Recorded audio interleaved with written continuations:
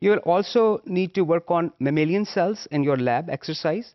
So let's talk about mammalian cell cultures, different strategies, how you, different types of cultures and different strategies you use to uh, culture mammalian cells. So first of all, why do we need to culture cells? There are several reasons. One of them is clinical, other is of course for usage in science and research.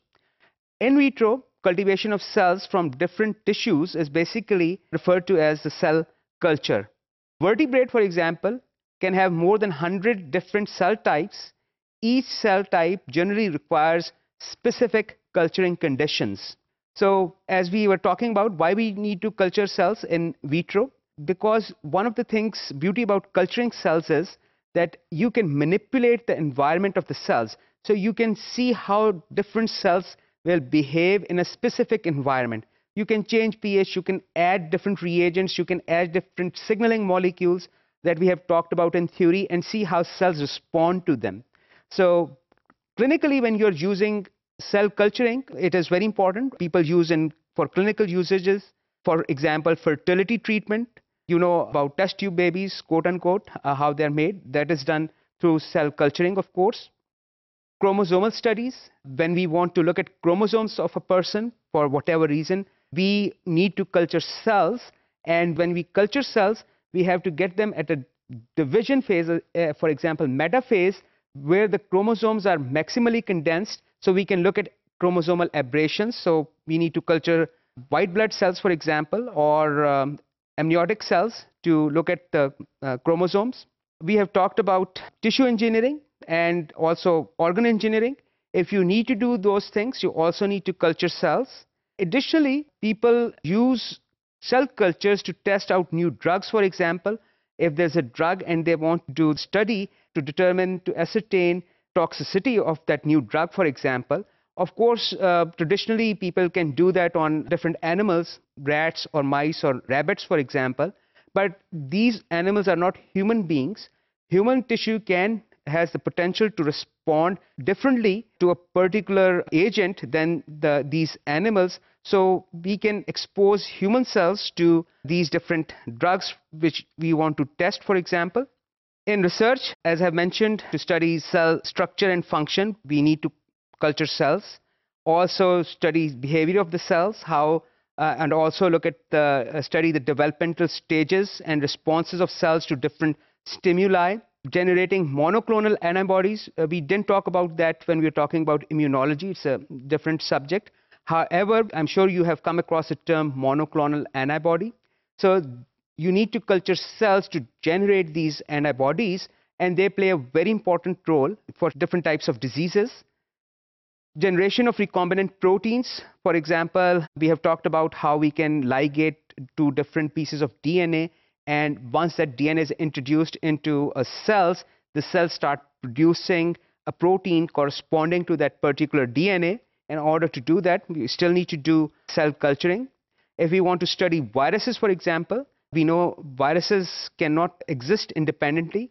They have to live inside the host cells which you won't be able to generate host cells unless you do cell culturing, for example. So now let's talk about types of cell cultures.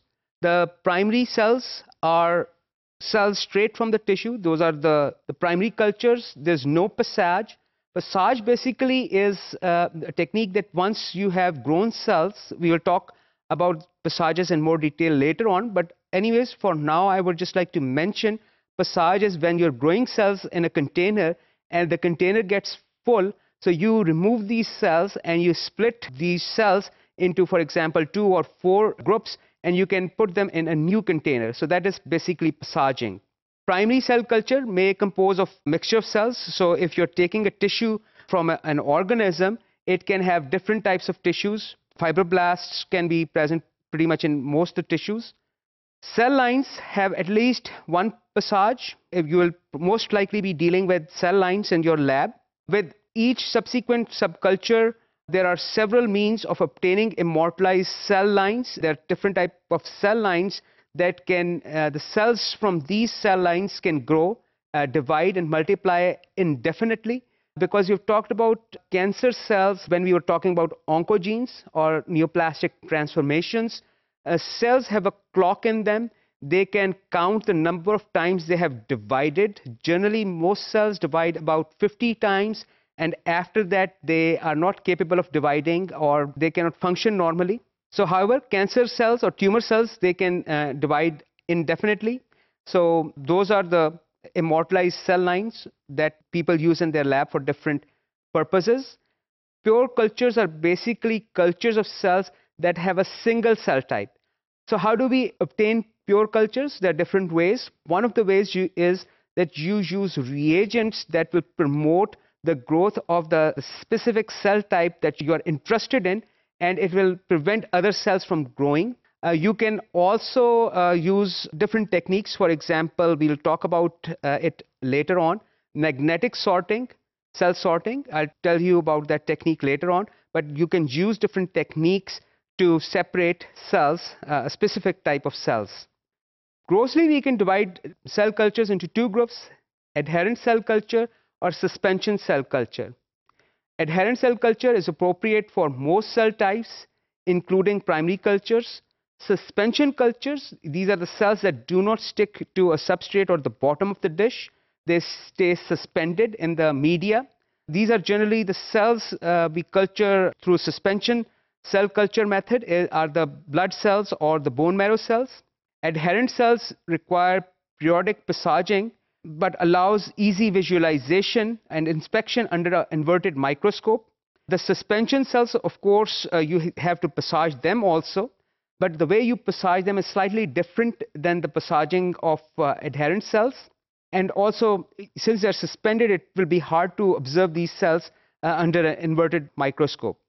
Adherent cells have to be dissociated enzymatically or mechanically. We'll talk about that later. Uh, however, suspension cells, they are generally, since that these type of cells, that they don't stick to each other or they don't stick to the extracellular matrix uh, molecules. So you don't have to dissociate them enzymatically or mechanically uh, because they're already uh, single cells. Explant cultures, a piece of a tissue is placed in an appropriately coated dish which contains the media. Cells typically move out of the tissue and start to proliferate in the dish. This is useful for sensitive tissue which may be prone to damage by protease or enzymes that you need to make tissue fall apart so cells will separate from each other and they will adhere to the culture dish. Also, in case of neuronal tissue, explants provide uh, an excellent opportunity to the scientists to have a dense area of axons with a uniform polarity, uh, polarity of their microtubules, for example. So this dense area, if someone is interested in studying axons, they'll place a piece of neuronal tissue, cell body mass, for example, CBM, or if it is a neuronal tissue, the cells will extend axons out. If it is a non-neuronal tissue, cells will generally crawl out of the explant and they will start covering the dish. So let's talk about the dissociated cultures. Tissue sample is dissociated either mechanically uh, through trituration or enzymatically, uh, generally a combination of both, producing a cell suspension.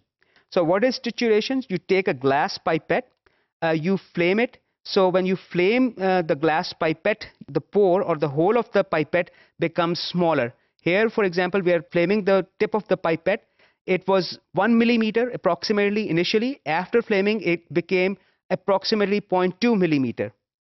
So when you triturate a tissue, basically when you apply negative pressure, the sample will go inside this pipette and then you blast it out. You do it several times till the tissue dissociates. This is how you mechanically dissociate tissues, for example, to obtain individual cells.